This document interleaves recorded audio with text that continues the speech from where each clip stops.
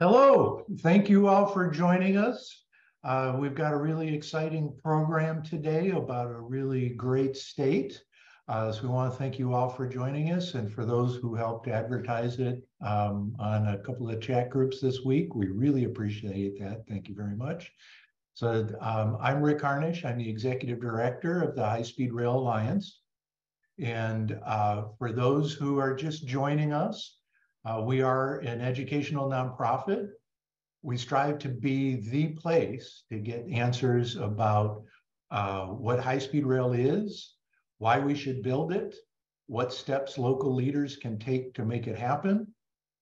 Um, and we provide the tools that you need in order to advocate on your own behalf so that you can make great trains in your communities a reality. Uh, we are supported by um, our members. So the people who are most engaged in getting trains for communities like yours um, are where we get our support. So if you want more trains, please go to highspeedrail.us and hit that donate button. Um, and uh, you can ensure that we have more great programs like this and we can talk about some other really exciting progress that's happening. Um, Chris Ott is on the line from Madison, Wisconsin. Hi, uh, everyone. he's, he's our deputy director working to get uh, good trains to Madison and Green Bay. Um, and he'll introduce our speaker today. Thank you. Yes, thanks, Rick. And uh, thank you all for being here. Uh, and let's talk about the state of Michigan, which is doing some important work for better passenger rail. Uh, Michigan is investing in the services that Amtrak currently operates, uh, along with exploring the potential for increased or expanded service. Uh, and we'll hear more details uh, about that from Peter Anastor, the director of the Office of Rail for the Michigan Department of Transportation. Uh, it looked like Peter just dropped out here.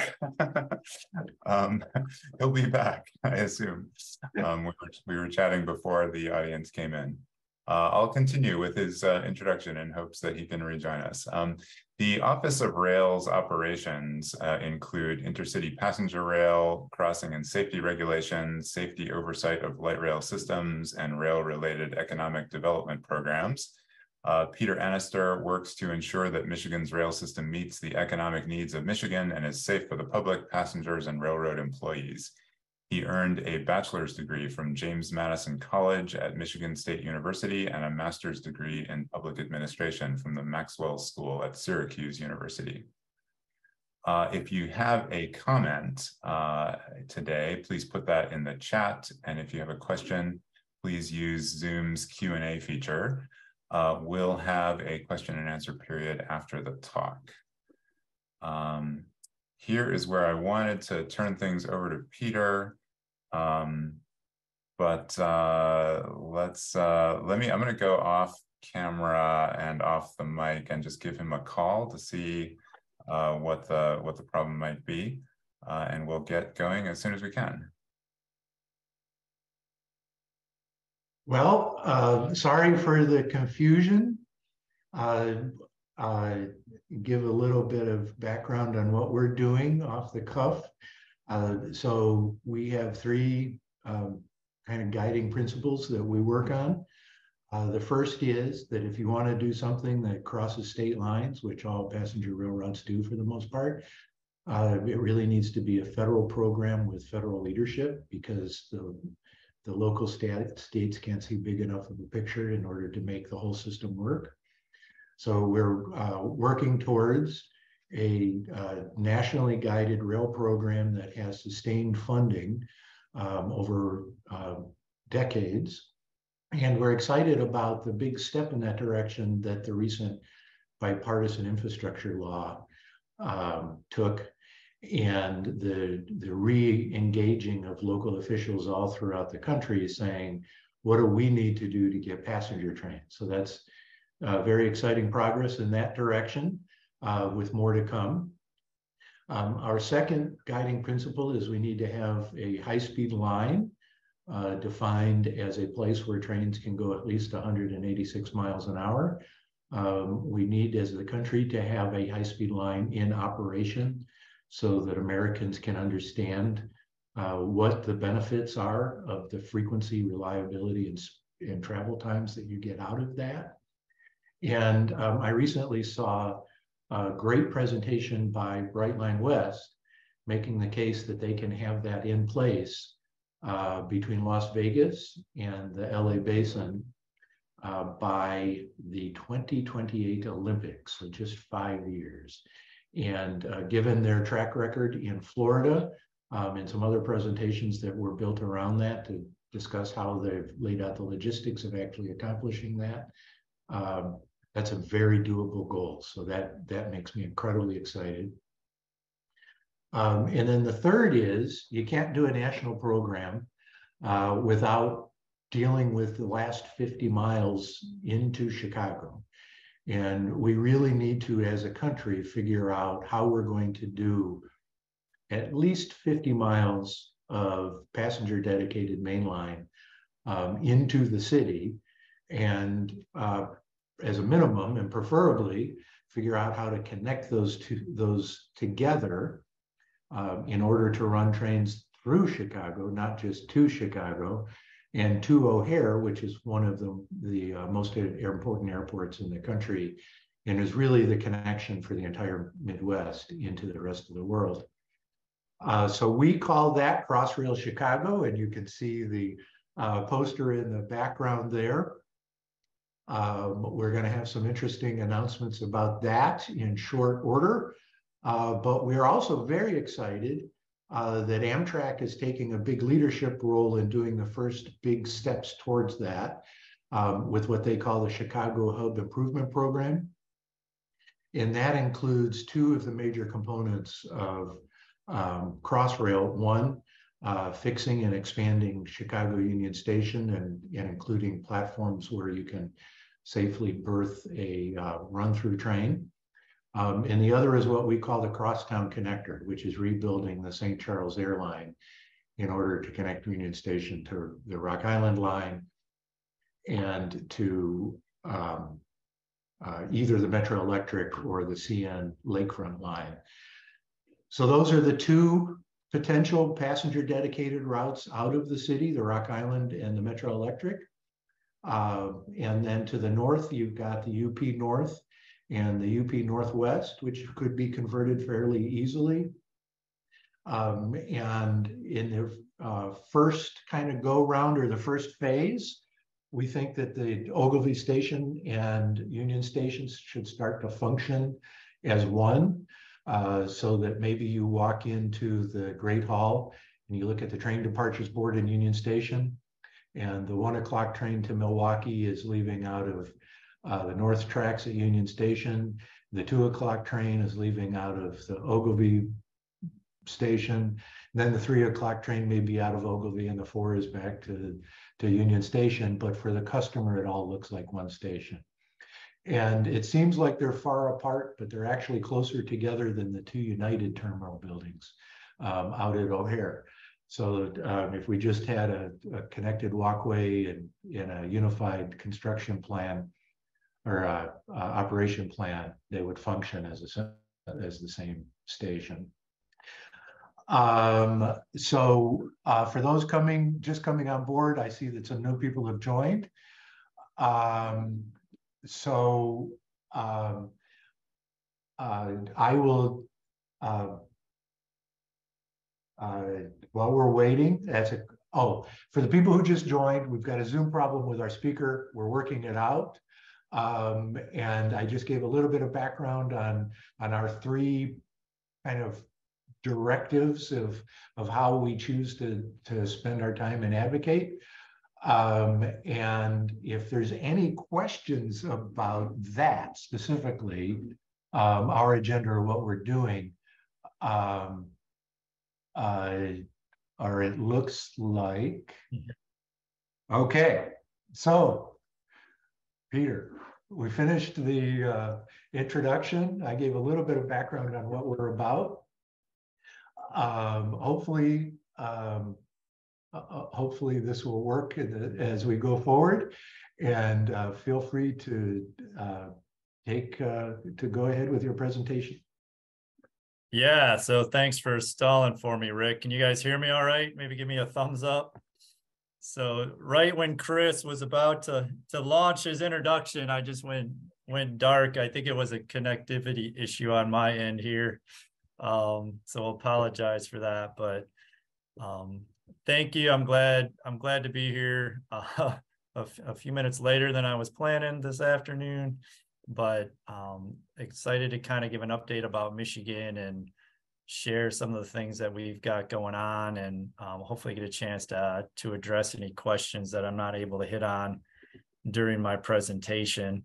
Um, I did put some slides together. I think it um, hopefully gives you a little bit a picture of some visual things that are happening in Michigan, but um, you know, hopefully we can get things going here. All right. So I thought many of you probably are familiar with Amtrak and passenger, um, you know, systems we have in Michigan. But in case someone's not, I thought I'd just give us, you know, brief snapshot of our routes here in Michigan. You know, starting on the western side of the state, uh, you'll see a, a, green line that uh, reflects our Pere Marquette route uh, that runs between Grand Rapids and Chicago.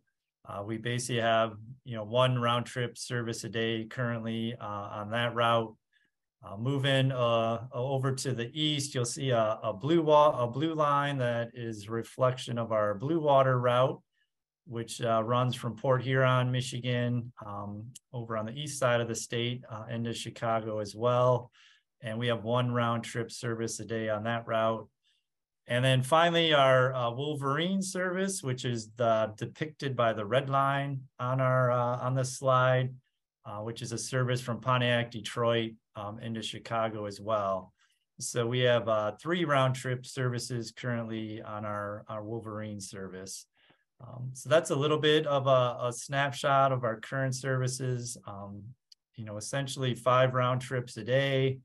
Um, and uh, we serve um, essentially about uh, in the typically you know before covid we were serving about 800000 passengers a year uh, you'll see on this chart it was fairly stable between June 2013 and um, you know 2019 uh, you'll see the dip due to covid and then uh, last year 2022 uh, we did start to see some recovery uh, we are seeing that again for, for 2023.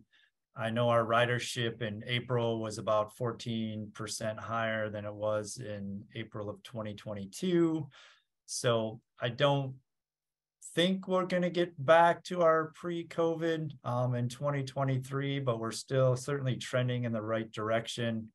Um, so I'm hopeful that we can uh, get back to that point soon and then continue to kind of grow our ridership into the future. Um, but there's a little bit of snapshot of our ridership. Uh, the Wolverine is our, I guess, our most um, ridden train.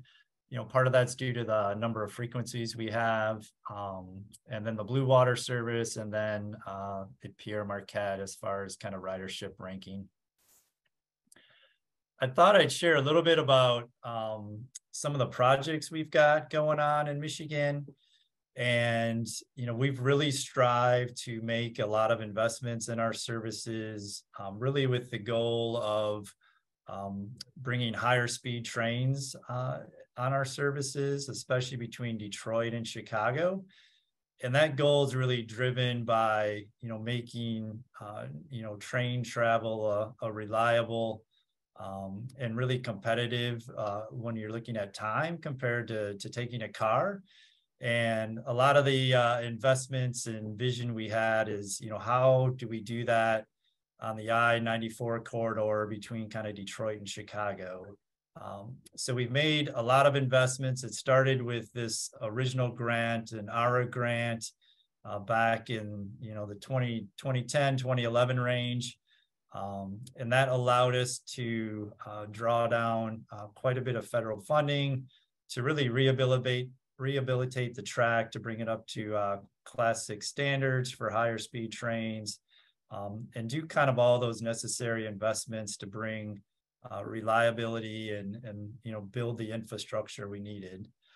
I'm excited to say that we uh, have officially closed this grant this year. It was a, a long time in the making, um, working with FRA and, and through those processes. But uh, this year we were able to uh, to officially close this grant. So that was a, a big milestone for us here in Michigan.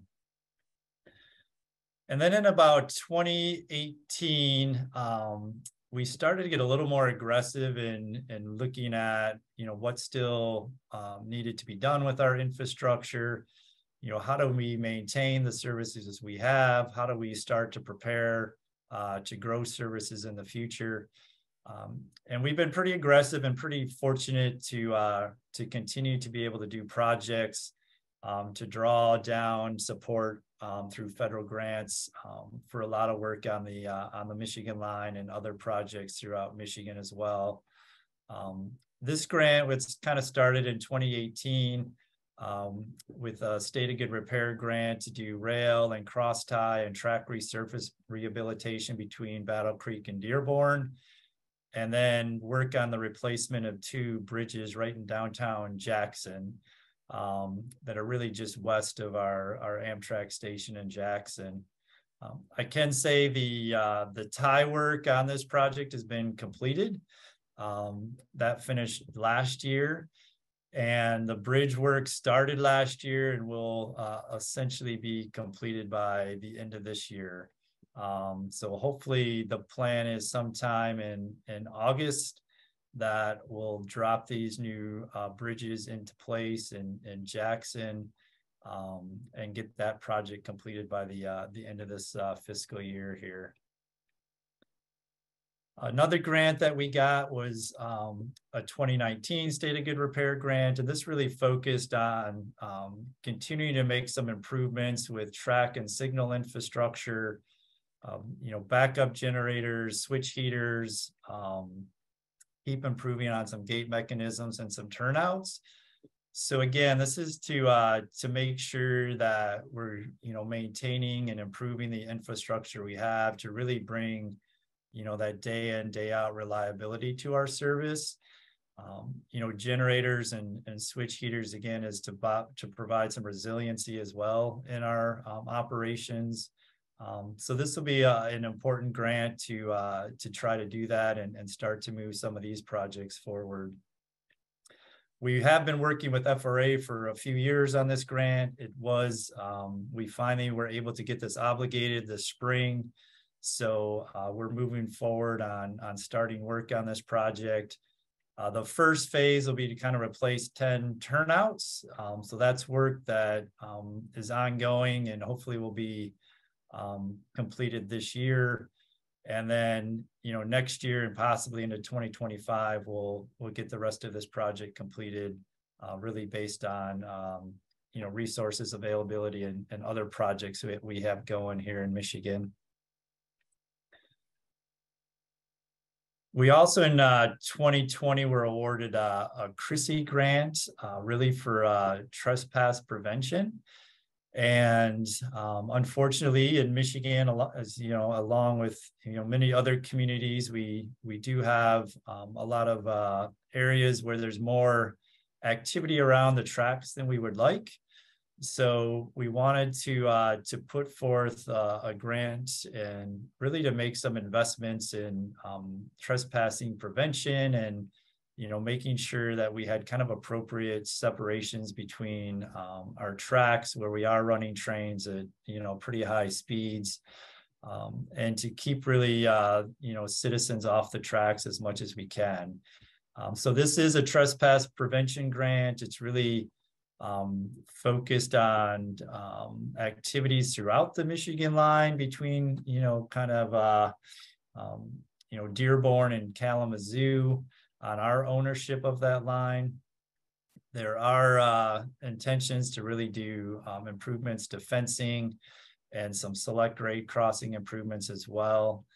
We are starting our work this year um, in Ypsilanti, Ann Arbor, and, and Albion are kind of our uh, phase one communities.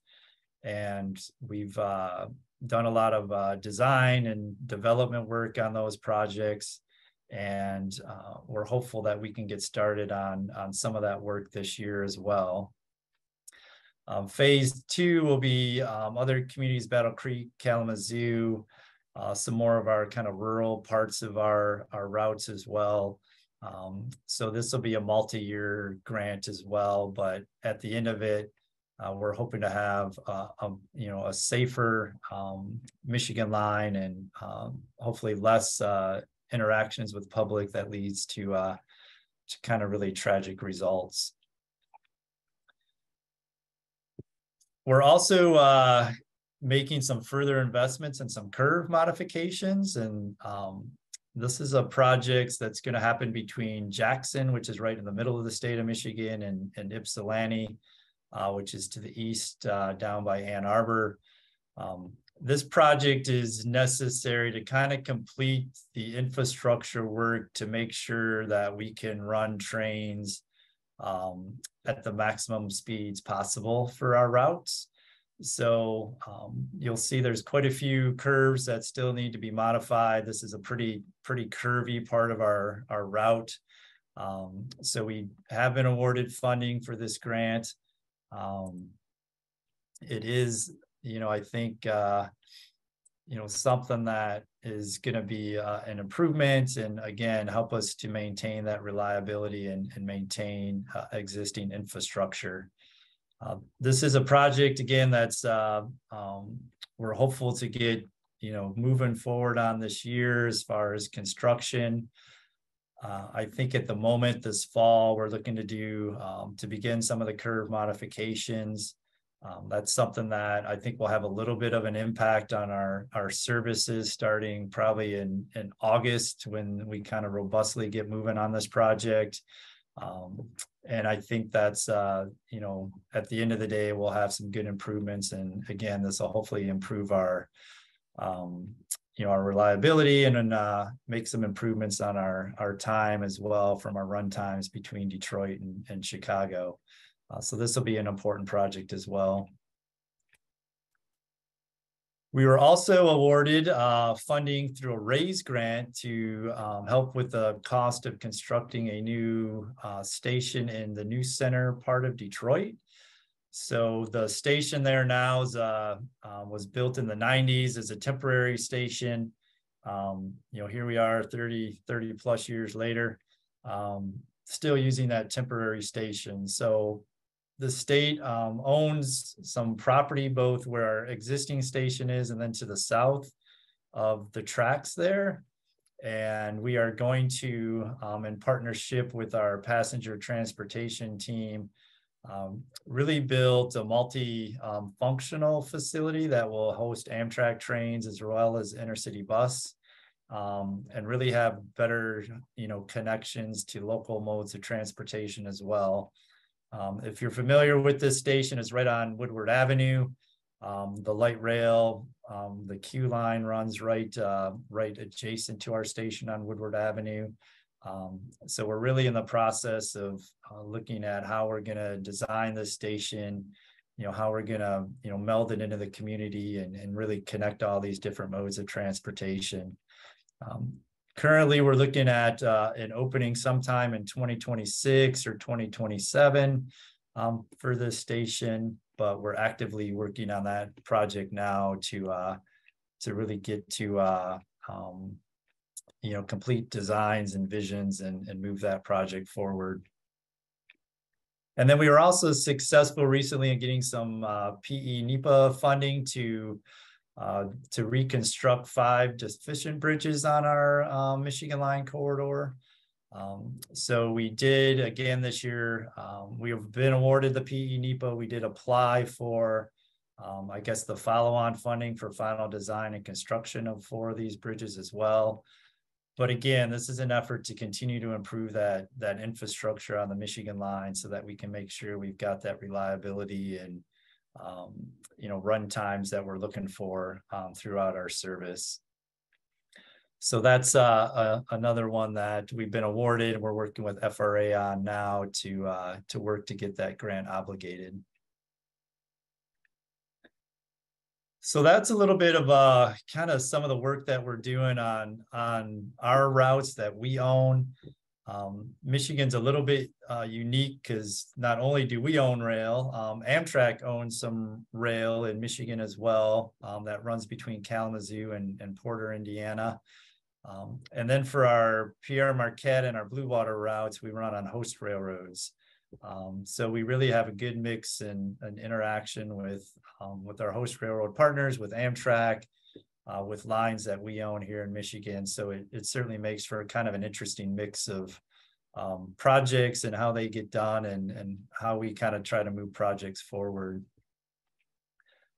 I will talk a little bit about uh, our venture cars. So uh, Michigan in partnership with Illinois, Wisconsin, and Missouri um, basically purchased our own rolling stock. So we have 33 new Charger locomotives that are currently in service now on the Midwest Amtrak service.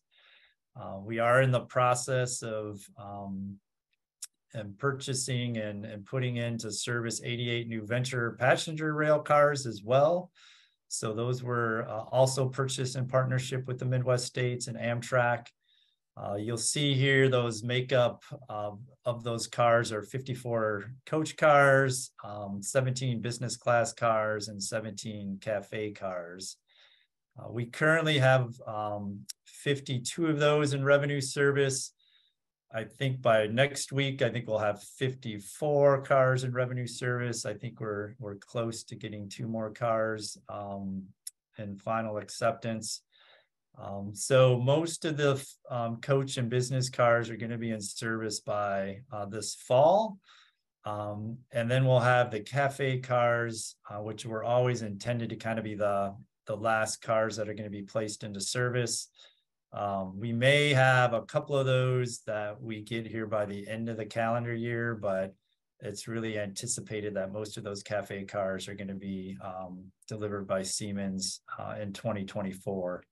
Um, so um, I, I'm excited to say that we did get delivery of our the last three business cars that Siemens was uh, manufacturing for us out in California um, just a couple weeks ago. So all of the coach and business cars are are have been delivered, um, and now we're just working with Amtrak to get those cars into into revenue service you'll see here's a, a picture of the Charger locomotive and, and the venture cars. Um, you know, these do have a lot of uh, improvements from our previous cars, which uh, a lot were the Superliners or Horizons. Um, you'll see the, you know, much bigger windows, much better Wi-Fi, much better uh, connectivity and, and some amenities. Uh, we've got bike racks that are part of these cars. Um, they're you know, nice wide aisles. So there's great um, ADA accessibility um, on all our cars. This is a picture of the business cars, which are, um, you know, two seats and one seat. Uh, the coach cars have um, two seats on each side. But um, if you haven't got a chance to ride in the venture cars, and um, if I could see you, I'd probably ask for a raise of hands of who's had a chance to do that. I know I took a trip recently to Chicago a couple weeks ago on the Blue Water route and um, rode on a venture car, and um, it was you know a great uh, I think improvement from from some of the horizons and and really time to get some new equipment. So I wanted to spend a little time too talking about some you know future opportunities. Uh, we are looking to continue to improve our service uh, here in Michigan, both from a reliability standpoint, from an on-time performance standpoint, um, really from a runtime standpoint, um, really trying to get, you know, a reliable, um, you know, competitive service is, is really a big goal for ours. We did recently apply for the new FRA corridor identification and development program. We submitted, um, I guess, requests to include all three of our existing routes in that program. And the purpose of that is to really to continue to make uh, improvements on those routes, um, but also with the goal of adding adding frequencies. Um, so that's something that is uh, is a vision of ours. We'll we're you know kind of waiting and see where um, you know what FRA does with kind of these initial rounds of uh, of submissions, but you know we did submit all our routes with with that intention. We also, as part of that process, um, have proposed to look at extending one of our um, Wolverine frequencies with service into Canada. So um, initially, I think the vision here is to connect, um, you know, through the CP tunnel in Detroit um, to Windsor and the Windsor station, and um, then work with VIA to um, essentially use their network to uh, to get trains to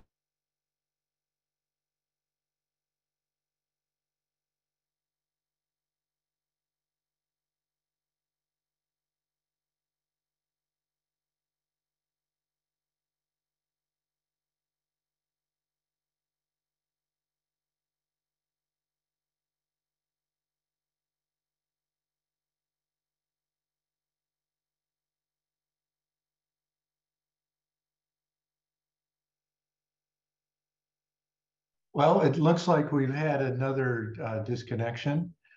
Um, I will um, uh, jump in again. I assume, Chris, that you're dealing with trying to. So did you guys lose me again? We did lose you again, you did. absolutely. Thanks for getting, getting back so quickly this time. All right. Um, at what point did I drop off? I guess. Last I remember, I remember thinking, well, how do you get to the Windsor station from the tunnel? So it must have been right around there. Right around there. Okay. Um, so you know, looking at uh I guess can you guys still see my slides? Am I still sharing or do I need to redo that? Yeah, you do need to redo that and probably turn off your camera. Okay. Stop that. Reshare my screen here.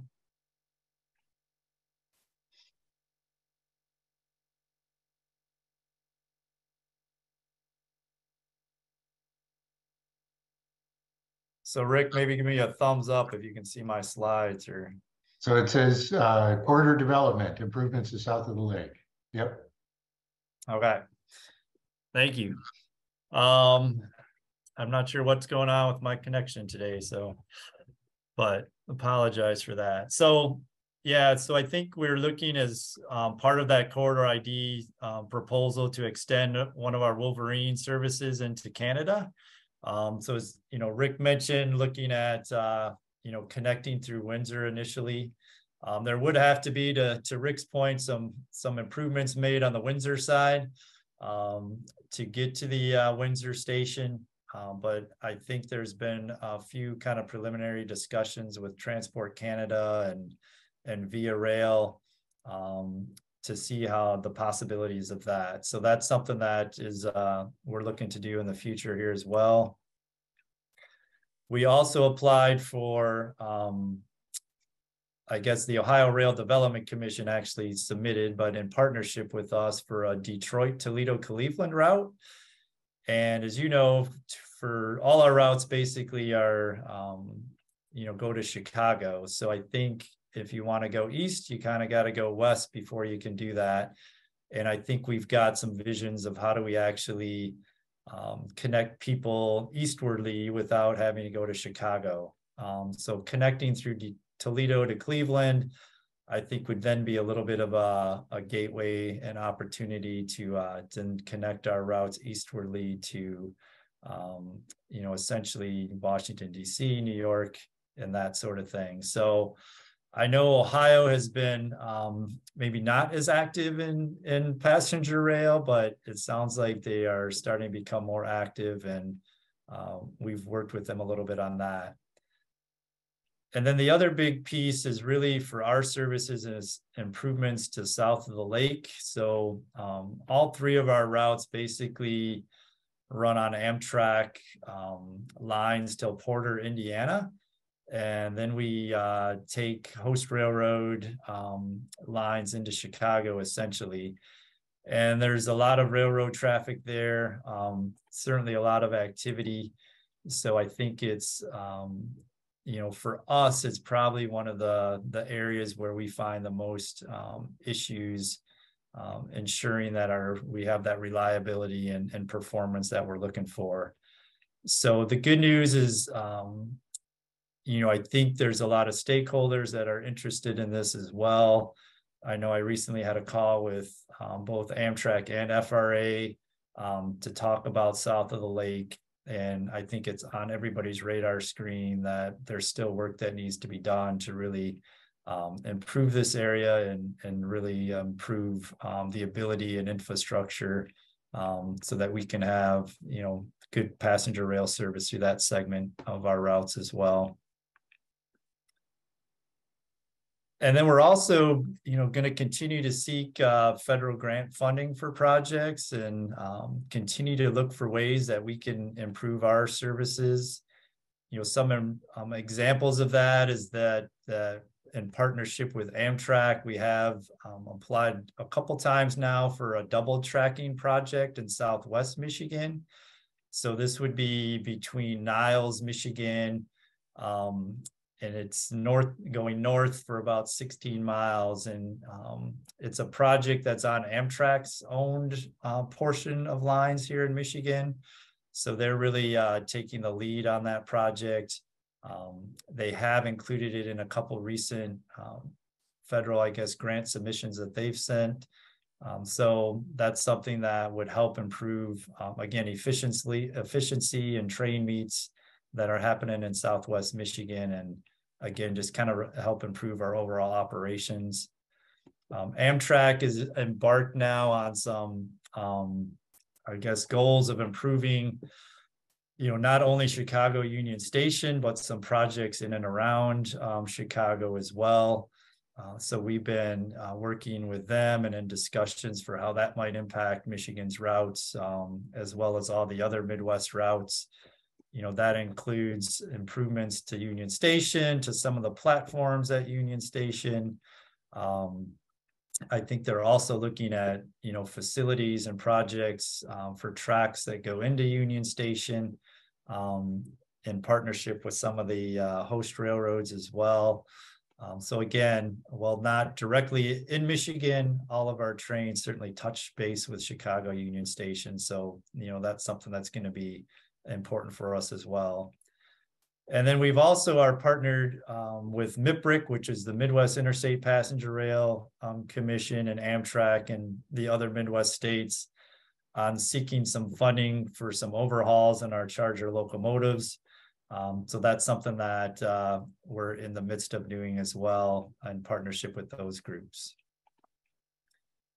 So with that, with a you know couple of hitches there in the presentation, um, that's a little bit of kind of what's going on actively in Michigan now and um, some of the things that we're continuing to think and, and work on in the future here as well. Great. Uh, yeah, this was really good. Thank you very much. Uh, I guess if you stop sharing your screen and we'll try turning your camera back on. Okay. Um, you know, I'll give you a second to figure that out.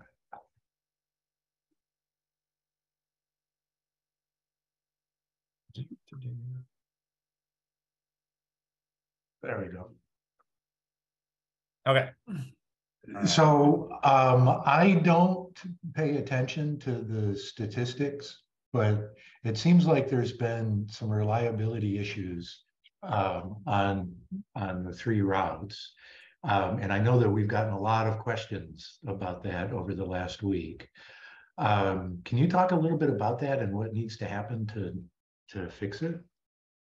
Or even if it is a real issue? Yeah, so you know, our on-time performance definitely is not where we want it to be. Um, so we've been working with Amtrak and talking with um, some of our host railroads on trying to identify, you know, what those reasons are. Um, I think we've made some progress. I know on the the Pere Marquette's probably our best route as far as reliability and on-time performance. Um, it's a little bit mixed on the blue water and it's really mixed on depending on the frequency on the Wolverine. Um, so that's something that we've made, I guess, a much higher profile for for Michigan to really understand like what is going on, where are we running into issues.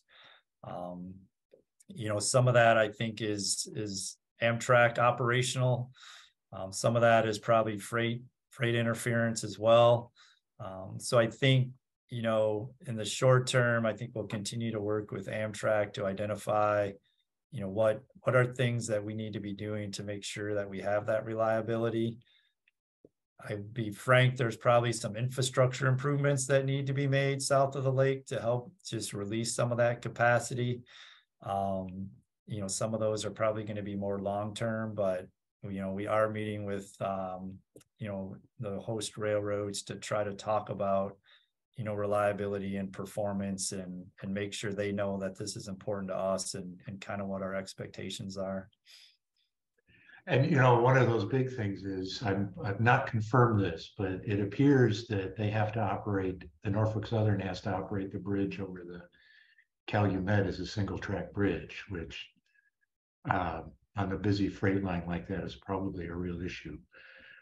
Yeah, there's definitely a couple pinch points on that route, Rick, over over a couple rivers. Um, and you know, we've talked with NS a little bit about you know how how that might be looked at in the future so um, but i don't i think we want to look at everything and and not just make an assumption it's there's one issue. Um, i think we want to just make sure that in order to provide that kind of consistent reliability that that we're addressing um, all the types of issues that come up. You know we we do sometimes have ptc issues that that come up.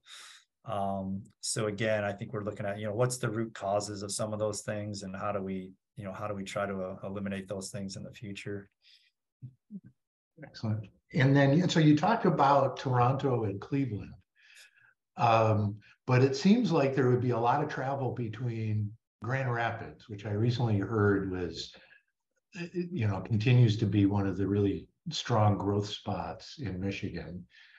Then you've got Lansing, the capital, and then Ann Arbor and Detroit.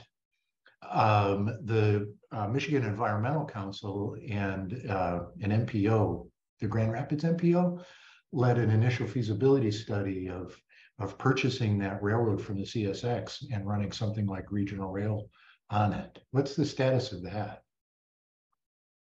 Yeah, that until recently, that hasn't uh, there hasn't been much movement on that since that study was completed, Rick. Um, I can tell you that there's been some recent discussions. We we call that the coast to coast route here in Michigan. Um, kind of that Grand Rapids to to Detroit route. Um, and one thing that's been really interesting, we've got um, you know, with we've got term limits here in Michigan. So we had a kind of a new array of legislators that came in this year and we've gotten a lot of questions and a lot of interest, um, really from places we haven't necessarily had that before. Um, so I think it's, you know, these questions of, you know, what does the future hold for routes in Michigan?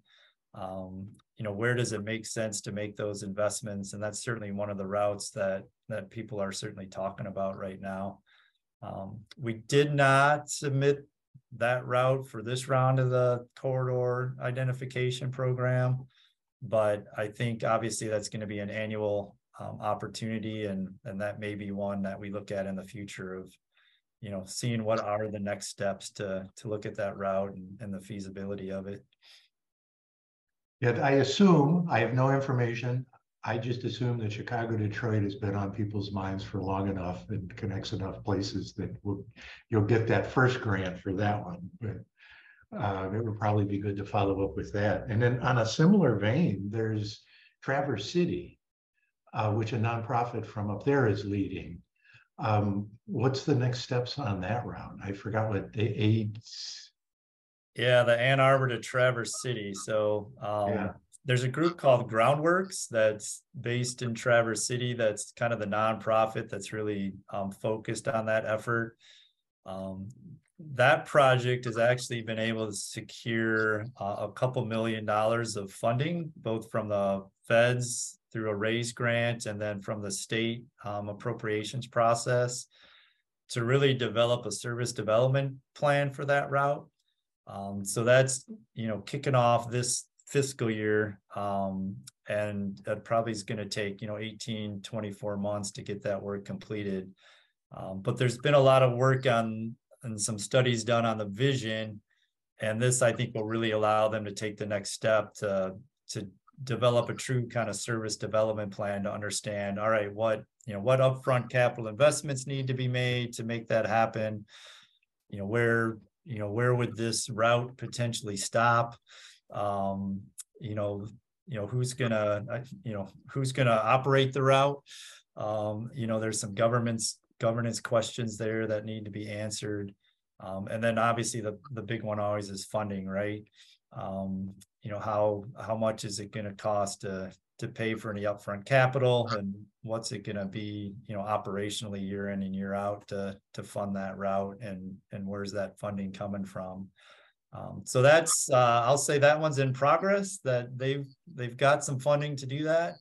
And, uh, we'll work through that process and then, um, you know, see where we're at with, uh, with what they kind of find out and, and unearth through that process.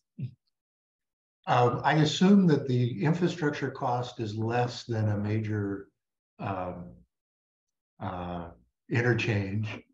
Uh, And, and the operating cost is less than the cost of doing uh, mowing and such uh, on uh, US thirty-one, but I could be wrong. Yeah, yeah, so, uh, I don't know that there's, uh, any proposals to build a new highway directly on that route, but there, as you mentioned, there is some existing infrastructure there for highway side, so, um, you know, this would certainly be a, an interesting opportunity. And then, so then the, the, the real challenge with that one and the across the coast to coast is that connection at Ann Arbor, which is just tough. But then that leads to Ann Arbor to Detroit, um, where there was a commuter rail discussion, which unfortunately was only talking about like three trains in to Detroit in the morning and three out. But it seems like if you could put these together um, in one package, so the Traverse City, the the coast to coast and the Wolverine, and you had regional rail in all three of those, you could have really frequent service to Ann Arbor to Detroit and really do something exciting in that corridor. Do, you think that's, how do we get that discussion started, do you think? Yeah, I think, you know, we look a lot to the, you know, some of the regional agencies down in southeast Michigan. So there's SEMCOG, which is our, you know, Southeast Michigan Council of Governments. You know, we do have an RTA in in Michigan. Um, the challenge we face is that that RTA is the Regional Transit Authority has never been able to successfully um, get a millage approved for the counties that it serves. Um, so they haven't, you know, really gotten the funding backing um, to really truly serve as a as a regional transit authority in Southeast Michigan. Um, and I think that's kind of been a little bit of a, a headwind to some of these commuter rail discussions in Southeast Michigan and, you know, looking at who's, who's kind of leading that effort and, and what, uh, you know, what the priorities are. Um, so I think that's a, a big piece of it. Um, you know, how do we go about really, you know, looking at what the needs are in Southeast Michigan and, um, you know, what funding is going to be put into place. But, you know, like you said, there, you know, there's, there's infrastructure there. Um, it, it's not all tied together perfectly. Um, there definitely would have to be some additional investments that would be made. Um, but I think for us, it's really understanding what are are those priorities and and how do we start to to move forward on some of those visions. And I, I think we're, we're gaining momentum and hopefully we can really speed this up. I want to go back because you're talking about infrastructure issues in Detroit. One of our board members made a comment that um, the Detroit station is pretty close to an Amshack.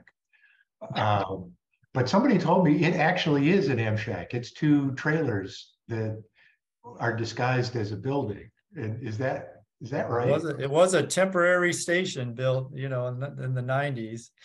Um, so yeah, it's, you know, we, there has been some recent investments there, um, especially around, you know, kind of ADA issues and that sort of thing, but it is definitely, um, past its, its useful life, um, and is, is being band-aided. So I think that is something that you're, you know, we're definitely, you know, in progress on, on replacing that station.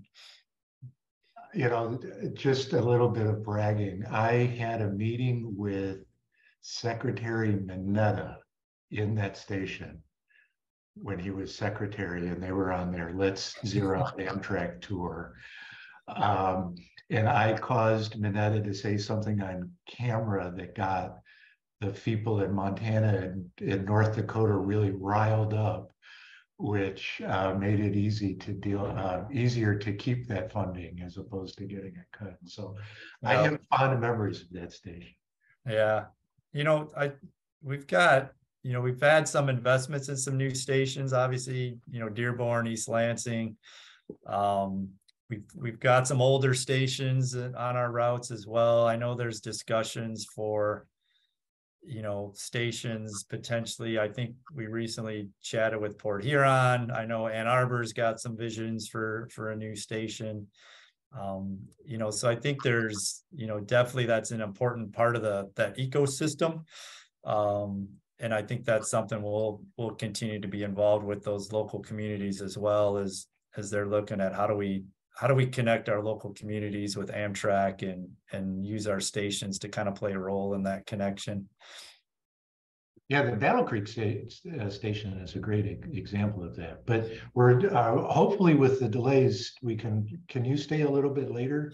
Yeah, for sure. So I know we had a couple of hitches there, so I want to be able to get through some questions here for sure. So, uh, what do we have, uh, in terms of questions, Chris? Oh, we have so many, um, and thanks for making some extra time here, Peter. Um, you know, we still can probably only get to a few, but let's, let's go.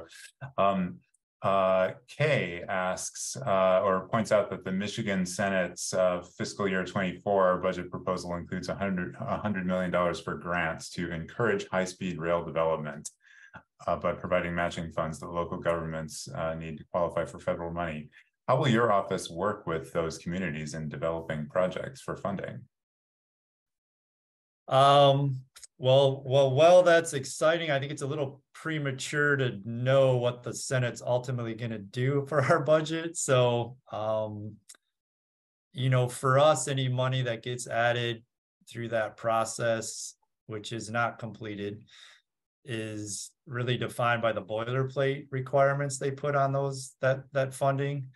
So I guess to be honest, I don't really want to speculate of what might be in or what might not be in the budget um until it's actually completed. But, you know, to my comment earlier, I think, you know, happily, there's a lot of interest and support in our our legislature and from our current administration for passenger rail. So I'm really hopeful that that that support's going to translate into some funding that'll allow us to kind of continue to uh, to look at passenger rail and, and develop that. Um, but what that may look like at, you know, when the final budget's signed by the governor, I, I think that's still kind of a wait and see. Okay, thanks. And uh, a couple of related questions. Kathleen asks, are there any high-speed lines in planning stages currently? Well, that's always that hundred, that, what do you, what does she mean by high speed lines? So on our Wolverine, we, you know, we're operating up to speeds at hundred and ten. Um, you know, except for those routes where, or portions where we're doing some modifications still. Um, the, you know, Pere Marquette and Blue Water are, you know, those are on host railroads, so I think, you know, there's no immediate vision to, to go above seventy-nine on, on those routes you know, if you're you're talking, I think Rick is always the vision, you know, 200 mile an hour trains is kind of Rick's vision, I think. Um, we haven't had, you know, to be frank, a lot of discussions of how that, you know, would occur in Michigan. You know, obviously I we've got lots of at grade crossings in our state that would have to be um, dealt with if we went to kind of a closed um, system that was running at those types of speeds. Um, and while I I think that's a very amazing goal to have. um, I think more of our short-term goals is how do we how do we ensure reliability and um, you know on-time performance and those types of things for for the routes we're running now and and how do we continue to kind of expand expand service and and frequencies for people to uh to kind of experience the train and provide that as a as a auto alternative here in Michigan. Um, so the super high speed stuff I think is a you know for us I think is more of a a longer term vision. Okay. And uh, uh, Mark Hoover, one of our board members who comes from Michigan originally, uh, asks you. Well, you you had mentioned uh, the the hope of reconnecting service to Canada, and as part of that, is there is does that include connecting to the emerging uh, plans in Canada for high speed rail or high frequency rail, or do, does that work on the Canadian side need to get further along? Yeah, to be honest, I'm not super familiar with the Canadian side of of what their visions are, but I think anything that we do would certainly be in in partnership with VIA. Um, so if if we can leverage and take advantage of the investments and visions they have on on on what's going on in Canada, we certainly want to try to connect with that and and use that to kind of better and improve our service as well. Um, I'll mention I've seen a couple comments here too on, you know, Michigan Central Depot, um, which is you know a separate train station in, in Detroit that Ford is is bringing back to life. And if if we do have service that you know connects through the CP tunnel there, um, it's you know basically right at the the back door of Michigan Central Depot. So we have had some discussions with with Ford about Michigan Central Depot and um, you know the potential of having a, a, station you know there or part of that campus. Um, so we've had had some of those discussions and uh, I think that they're willing to be a, a partner, have been kind of supportive in that. Um, so I think that's really really promising as well. We have, uh, as uh, as often happens in these talks, we have a lot of questions about when service will come to particular places, or you know, people interested in in, in better service for where they live or where they want to go.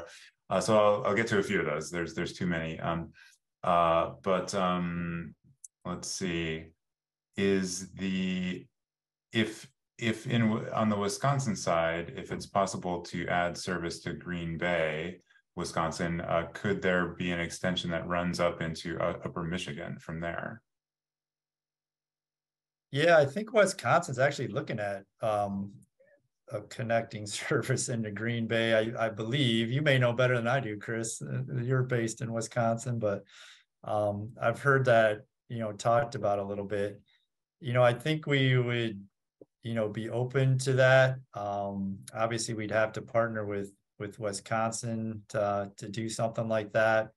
Um, I can say that, you know, it's, it probably hasn't been one of the routes that's been high on the list of things I hear, but that's something we can certainly add to the list as well. Mm-hmm. Okay. And you'd mentioned uh, in your talk the uh, the the ambition to improve, or well, you, you the, the corridor ID applications to get into Ohio. Uh, and Aaron asks, uh, did the Ohio Rail Development Commission participate in the application? Yes, they actually were the ones that submitted the application. So they were very active and um, and working with us and and partnering. So I think that's a really good sign for for the future. Okay. And what about the airport? Is there a possibility of creating a connection from the Detroit Metro Airport to the, the nearest Amtrak station? Yeah, that's you know the airport's been discussed in a lot of the the commuter routes. I think even um, you know what routing you would take if you did a Detroit, you know Toledo, Cleveland kind of route. Um, you know, could something like that in, include the airport? You know, I think you know, for us, we uh, we, we kind of look at things as you know intercity rail and then commuter rail. You know, I think for connections to the airport, you know, I think that to me at least falls a little bit more on the commuter rail side. You know, you want to have that you know, really frequent kind of continuous service to make to make that successful. Um, but I do know that's been a lot of the discussion in Southeast Michigan and, you know, how do we make that connection with, with the airport and, um, you know, make that part of that discussion for sure. Okay. Um, and you, is, is there anything that you can say about plans for additional frequencies at this stage, or does that kind of depend on the corridor ID process? Yeah, I think that would really depend on the corridor ID process. Um, you know, so I think FRA's been um, really focusing on that process and trying to leverage that to gain an understanding of, you know, what projects need to be done to kind of continue to expand passenger rail service in the US. And we definitely want to be be part of that process and and fully engaged with them and and that vision. Um, so I think that is really going to drive, um, you know, some of those discussions and, and some of those, you know, I guess decisions. The other thing that I think will be a big, you know, I guess, uh, you know, item to be worked out is the, you know, availability of equipment. Um, so it may be that you can increase frequencies without, you know, much more strain on your existing equipment.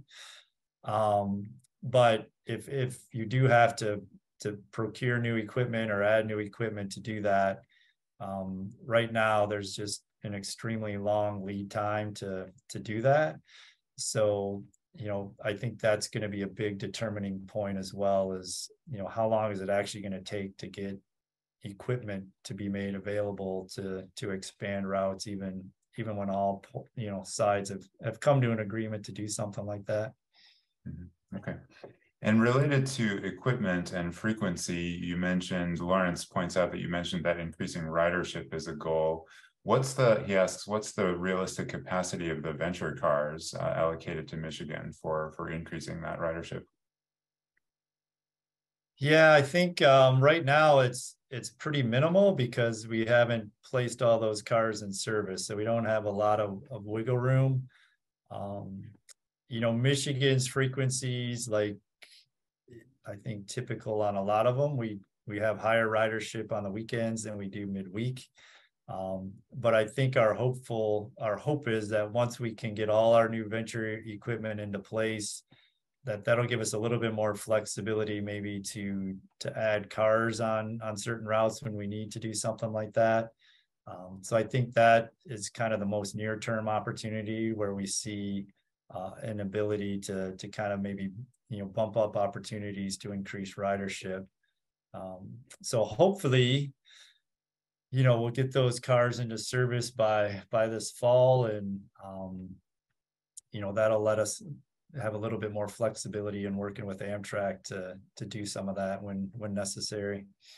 Mm-hmm. It certainly is the the availability of cars and um, some of the the issues we've had in getting the ventures into service has certainly I think impacted our ridership because we just sometimes haven't been able to meet that demand necessarily and, and had to make some adjustments on routes. Okay. And speaking of flexibility, we have a, a few questions about the shared tracks that the passenger trains in Michigan use. Uh, Roger and David ask which companies own the tracks that, uh, the, the, state doesn't own for passenger rail. And then Kathleen asks, uh, what, what is being done or can be done to alleviate issues between freight and passenger travel? Yeah, so we work with a variety of host railroads. So the Pere Marquette runs a lot on CSX lines. Uh, the Blue Water runs, you know, primarily on CN lines in Michigan. Um, Norfolk Southern is the host railroad that we run on kind of between Porter, Indiana and Chicago for the most part. Um, and then Southeast Michigan, I think we, I think we touch almost all of them at some point. So um, CN, Conrail, um, CSX. So Michigan is, as far as dispatching, we're actually, you know, a fairly complicated state of how many of the different host railroads we have to work with. Um, and then can you repeat the second half of that question? I think it was Kathleen, you said. Yeah, yeah. Um, what is being done to alleviate issues between freight and passenger trains? Yeah, so again, Amtrak's got a pretty robust system of identifying, you know, causes of delays. So their engineers, you know, basically have to to track that. Um, so we're looking at, you know, what what you know, what are we being identified, be it a, you know, an Amtrak issue from the origination point, be it a you know a PTC um, connectivity issue or a freight train interference issue. Um, you know, we're seeing probably the biggest culprit still is is freight train interference, which you know leads you to believe that you know when we get down to to some of those NS lines or other other areas that um, you know are being held up or slowed down by by freight trains. Um, but I think we're trying to dig a little deeper because um, ideally that schedule works best when your your passenger trains arrive when they're supposed to arrive. Um, and I think we need to make sure that you know we're looking at you know is that happening as well or are we kind of missing missing our marks a little bit on our operationals to to hit those freight trains when we're supposed to um, so we're looking at everything uh, we really want to try to to have a better understanding of that.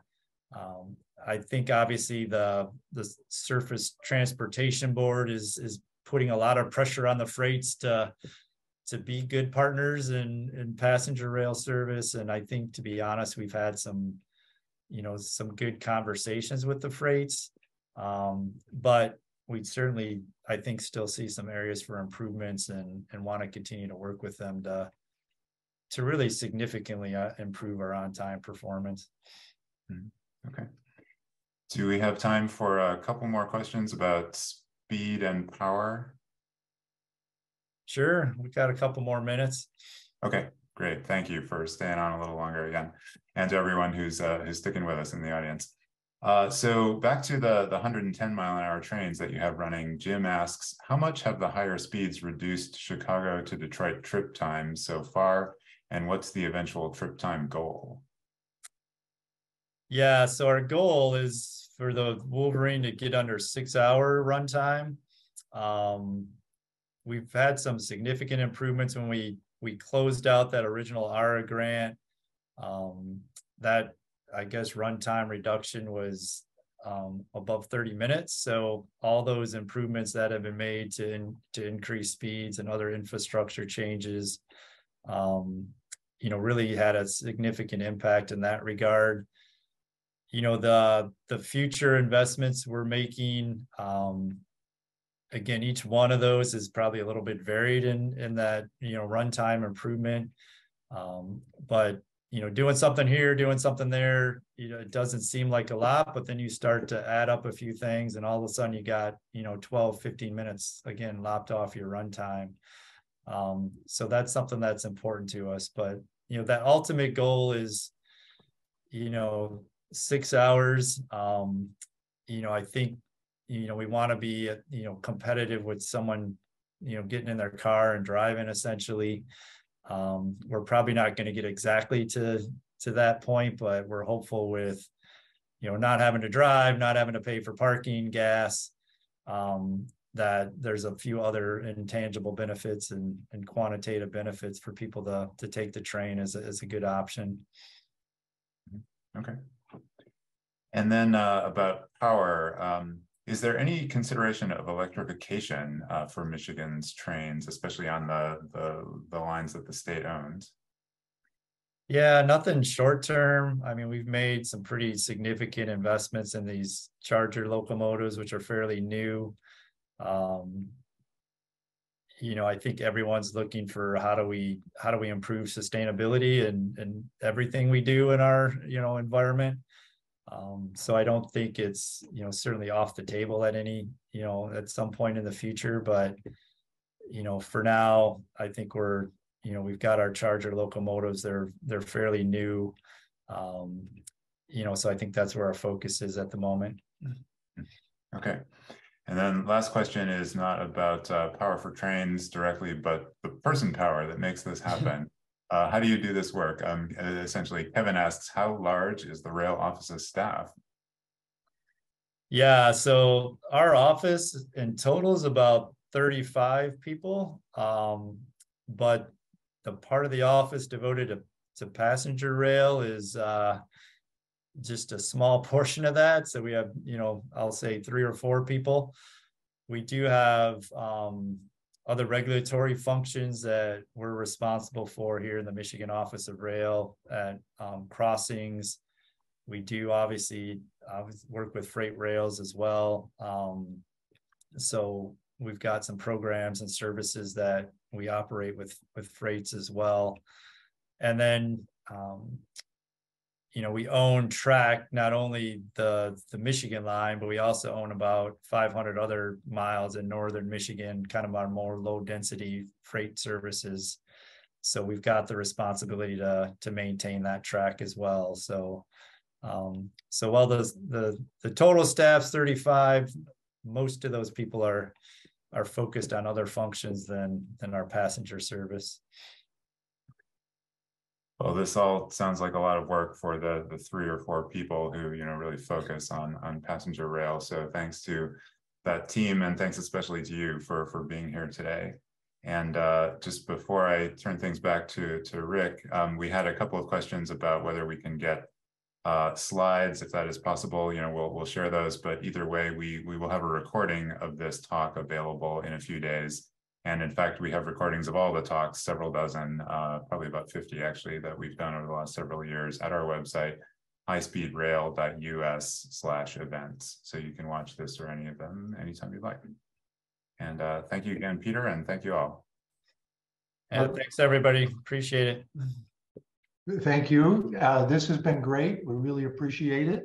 Um, for those again who stuck with us, thank you very much. And if you would like to see more of these, go to our website and we'll send you a, a t-shirt. Highspeedrail.us, scroll down a little bit and you can see a place where you can get your, your t-shirt. So thanks again, Peter. And we look forward to riding faster and more frequent trains in Michigan soon. Yeah, absolutely. Go ride the train, everybody. Absolutely. Bye. Bye-bye. Thank you.